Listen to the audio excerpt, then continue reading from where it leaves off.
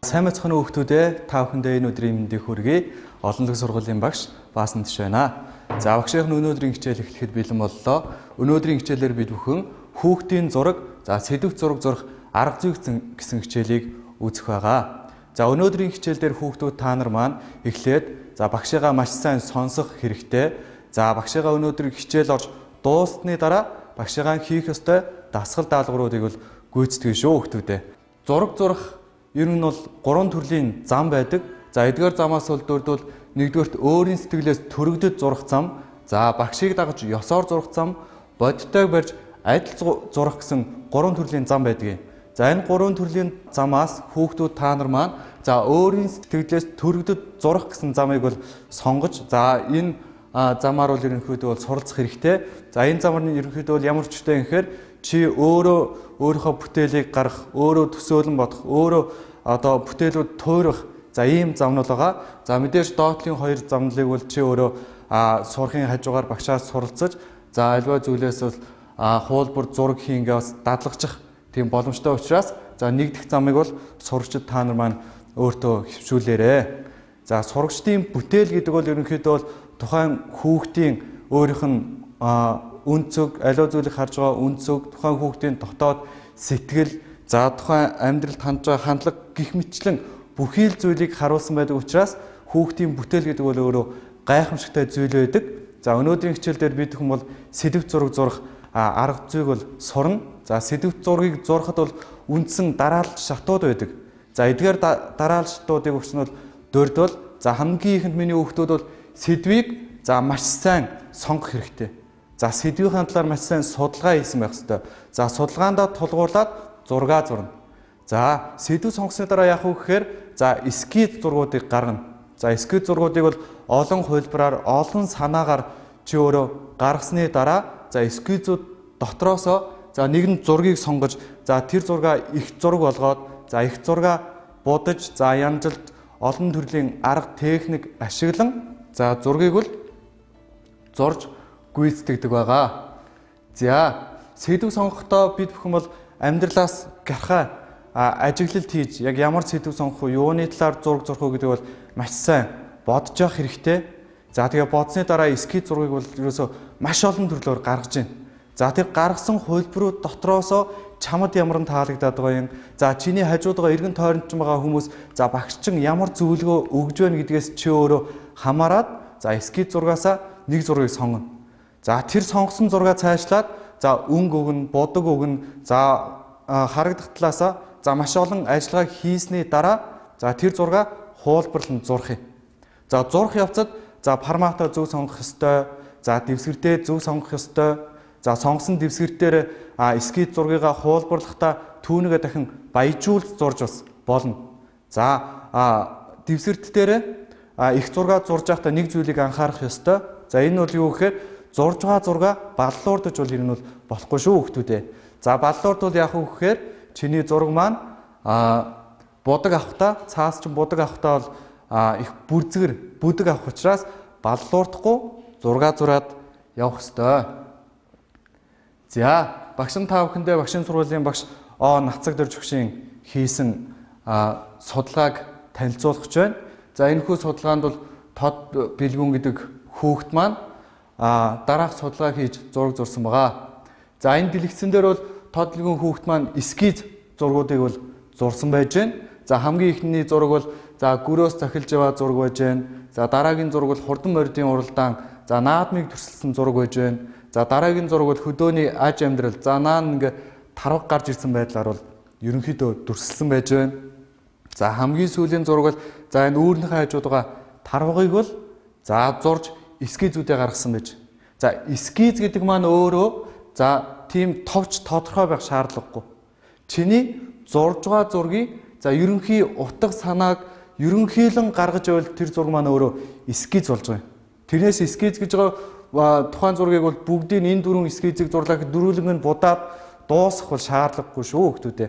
За тэгээ ингээд зурсны дараа энэ дотроос чамд аль сэдвээр нь зурхад эвтэйхэн байна. Аль сэдвээр нь зурхад чамд одоо илүү олон санаа дахиж гарч ирэхээр байна гэдгийг чи өөрөө бодож олж гаад за 6 сонгоно. За энэ зургийн энэ доод буланд байгаа энэхүү зургийг бол сонгоцсон байж байна. За энэ зургийг багш та нарт одоо ярьж өгвөл энэ тарваг үүрний хайжууд байгаа зургийг бол сонгоцсон байна. За одоо энийг цааш нь за дэлгэрүүлээд зурна. За эхний зохиомжийн хувьд бол одоо энэ байж байна. За энэ зохиомжийг өшөө цааш нь дэлгэрүүлээд за зохиомжлоход за нөгөө нэг тарвагчин цаасны голд за төв хэсэгт гол дүр болон орж ирсэн байна. Нөгөө хажуудгаа үүр маань за цаасны нөгөө тарвагны доор байрлалтай орж ирж. За үүнээс гадна за энэ тарвагтай хамт за туслах дөрүүдийг за ингэ бүтээж өгсөн. За туслах дүрээс гадна одоо энэ байгалийн одоо үзэгдлүүдийг бас дүрсэлж өгсөн байгаа нь та бүхэнд харагдаж байгаа. За ингээд дүрсэлсний дараа одоо ерөнхийлөн бодно. За энэ зургийг нэг иймэрхүү маягаар зураад бодвол ерөнхийдөө бол ямар болох нь гэсэн одоо дүн шинжилгээ хийж за ингээд бодно. За ингээд будаад үнэхээр болж ивэл одоо энэ зурга их зураглууга буюу за яг зурх үндсэн формат руугаа шилжүүлэн зурж байгаа. За энэ зургийн хувьд бол энэ голд байгаа энэ тарваг маань гол дүр. За гол дүр гэж юу хэлэх үү гэхээр тухайн зургийн за гол утга санааг илэрхийлж байгаа Тэр зүйлийг бол гол дүр гэж байгаа. За туслах дүр гэдэг маань за энэ тарганы хажуугаар гүйлдээд байсан дөрүүд байна. Энэ дөрүүд маань гол дүрийг тооцсож өгөх үүрэгтэй байдаг. А энэ гол дүрийг л яах нь энэ туслах дүрүүд маань тооцоож өгнө. За ингээд зурсны дараа энэ зургийг их хувилбараар нь одоо зурж эхэлнэ. За одоо энэ гэж. За яг тарвгаа зураад за одоо ингээд будаа дуусгаад өшөө сайн баяжуулсан байна шүү дээ. Их зурган дээл ерөнхийдөө бол илүү их баяжилтыг бол хийж өгж явах хэрэгтэй.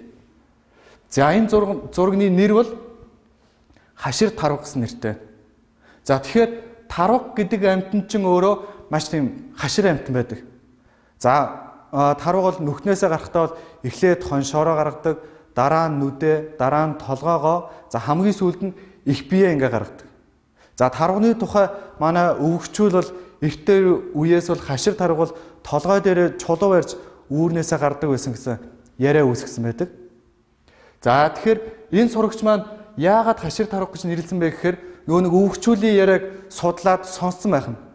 За түүнээс гадна энэ цаана байгаа тарга маань ямар нэгэн зүйл мэдээд за анчин байна гэдгийг мэдээд за хошигроод за дохио өгч. За гэтэл за энэ наагуургаа мөндлүүд За айгаад сандраад сандралдаад одоо ингээд явж байгааг л энэхүү зурган дээр бол төсөлсөн байна. За тийм учраас за энэ зургийн нэр бол хашир тарваг гэсэн нэртэй байж. Тэгэхээр энэ зургийг зурсан энэ тод бэлгүүн гэдэг хүү маань за тарвагтай газрын хүүхэд байж болно. За эсвэл тарвагны талаар тарвагны зан арын шингийн талаар их судалгаа хийгээд за энэ хүү зургийг зурсан байх нэ өгтүүдээ. Яг л энэ мэтчлэнгээр та нар маань сэдв зураг зурхтаа за судалгаанд суурлан за зургуудыг бол зурж авах хэрэгтэй.